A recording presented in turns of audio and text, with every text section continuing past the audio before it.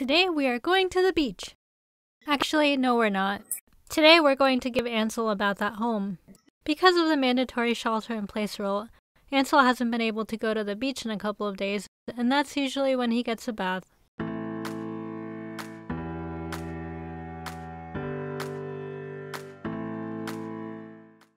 The importance of regularly bathing your dog goes way beyond just having a dog who smells nice. It is also really important for their overall health and well-being.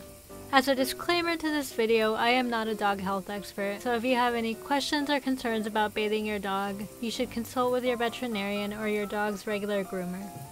Every time I'm going to wash my dog, a few hours before I give him a bath, I clean out my bathtub and I scrub down the sides of the tub, as well as the shower walls. The reason I do this is because as soon as my dog gets in the bathtub, he starts trying to lick everything, and I don't want him licking human shampoo or human soap. So this is also the same reason for why I take out the human shampoo and human soap before I put him in the bathtub. Depending on your dog's size and temperament, it can be helpful to wear shoes or some kind of protective footwear while you are giving your dog a bath. When my dog comes out of the bath, he is so excited to be done that he will trample my feet if I am not wearing shoes. I also highly recommend taking off any hand jewelry or dangly earrings that might get caught in your dog's fur. After you have prepared your bathroom space, it is helpful to gather everything you will need for your dog's bath, including dog shampoo and conditioner and towels. I also like to use a mixing bowl because I do not have a retractable shower head. For my dog's shampoo and conditioner, I like to use a 2-in-1 combo because it shortens the amount of time that my dog has to be in the shower. If your dog has any skin allergies or skin conditions, you should make sure that the shampoo you have selected is appropriate for his or her skin type.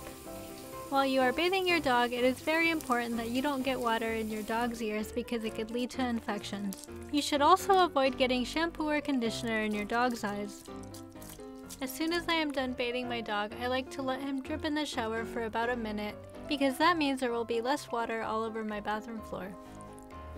I've found that by giving his paws, ears, and tail a gentle squeeze, I can wring out some of the water in his fur.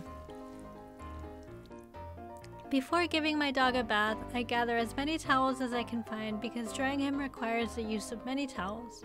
As soon as he gets out of the bathtub, he starts shaking everywhere, so I like to have a few towels on the floor to keep the area from becoming too wet and slippery. Sometimes I try to make the experience more enjoyable for him by playing a game called Catch the Towel.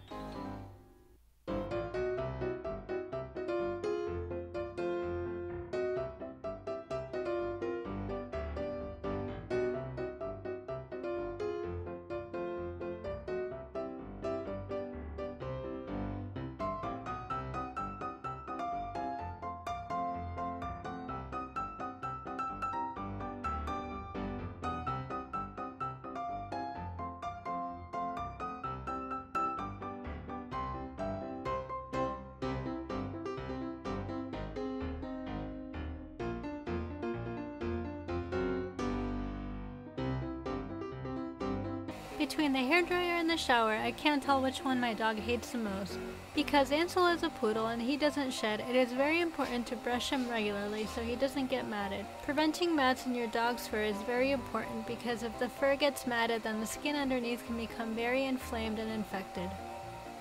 To make my dog extra fluffy, I like to brush him and blow dry him at the same time. My dog doesn't like getting brushed, but I've found that he most tolerates a kid's hairbrush with short plastic bristles. If your dog is giving you a really hard time while brushing, I recommend experimenting with different hairbrushes and combs. While you are blow drying your dog, it also helps to have a small area such as the bathroom, where your dog can walk around without feeling restrained. By letting my dog roam free in the bathroom, I am able to dry him from several angles as he continues to walk around.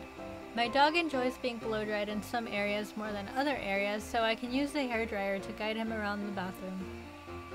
Ansel doesn't mind having his back or his chest blow dried and brushed, but he does get really flustered if I try to blow dry his face. So that's why I ended up letting most of his face and ears air dry. Depending on your comfort and experience level with your dog, it may also be a good idea to use bath days as an opportunity for nail trims and sanitary trims and for brushing their teeth. Because Ansel has mixed feelings about his bath time, I found that it's very important to combine the experience with something that he enjoys, so at the end of his bath time, I make sure to give him a dental chew and playtime with his favorite toy. If you liked this video or if you found it helpful, please be sure to like and subscribe as it really helps tremendously with the YouTube algorithm. Also, if you've recently made a video of your dog's bath time, feel free to drop a link below in the comments section.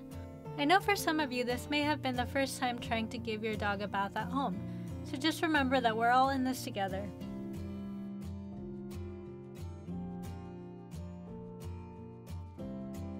Are you the fluffiest wolf ever? Did you have a good bath time? Are you smelling like the best wolf ever?